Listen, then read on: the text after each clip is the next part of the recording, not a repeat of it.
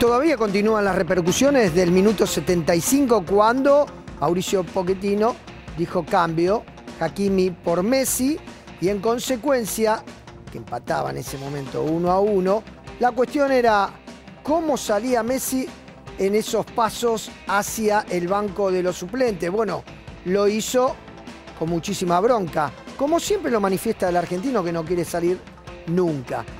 Tenemos que decir que Pochettino clarificó en la conferencia de prensa una situación donde alude a las grandes estrellas y que tiene que hacer el bien del equipo, ¿no? Ya lo sacó a Neymar en una oportunidad, todavía no ha jugado eh, algunos de los integrantes de esta nueva camada de, estrellas justamente del Paris Saint Germain eh, y en consecuencia me parece que todavía no tiene los primeros problemas de los egos y las cuestiones.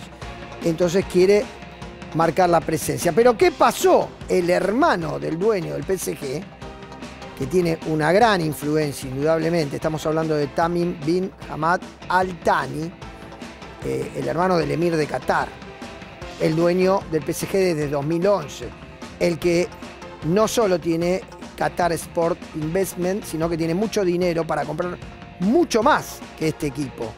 Eh, es una pieza clave también en, el próximo Campeonato Mundial de Fútbol. Bueno, dijo, señores, eh, en un tuit, Londres es una ciudad hermosa, ya lo sabés. No es una amenaza, pero es una invitación, ¿no? En Francia se habla de Zidane.